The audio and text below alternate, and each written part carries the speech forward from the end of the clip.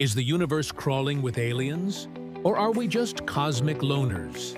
Some top scientists think life is basically inevitable. Why? It's all about chemistry.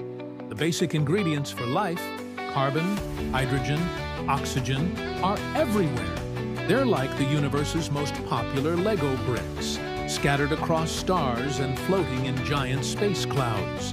And get this, life on Earth started super fast, almost as soon as our planet cooled down enough. It's like the moment the kitchen was ready, someone started cooking. This suggests that if you have the right conditions, like a rocky planet with liquid water, life just happens. It's not a one-in-a-trillion miracle, but more like a natural consequence of physics and chemistry. So, next time you look up at the stars, don't just see empty space. You might be looking at trillions of potential neighbors. It's a wild thought, right? If you enjoyed this cosmic brain tickler, smash that like button and subscribe for more.